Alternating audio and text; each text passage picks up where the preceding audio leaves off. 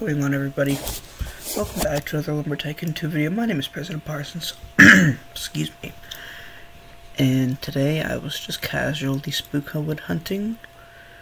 And I axe flung across the ocean right inside of Link's Logic. And if you ever wondered what was behind the wall Link's Logic, I got glitched behind it.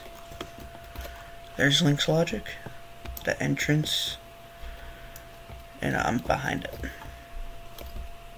And these lights actually work during the day. So I will pause the video so you guys can see in the daytime. Be right back. Uh, so boring. Uh, hurry up. Is it daytime yet? Nope. I'm just stuck in here. Well, I will see y'all when it becomes day. Oh, about time. But yes, these lights do turn on. As you can see with the rest of the store. Can I grab that? I can grab it. That's pretty cool. But yeah, this is what's behind the store.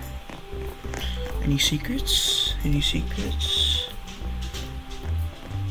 Uh, anything up there?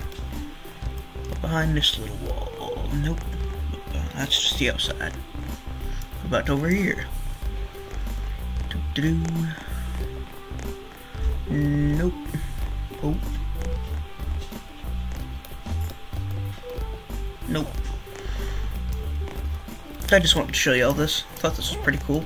If you axe fling too hard, um, you can get stuck in places like this.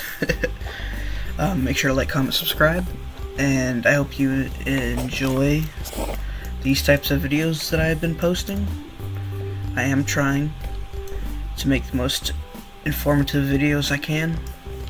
Um, make sure to like, comment, subscribe, and I will see you all in the next video.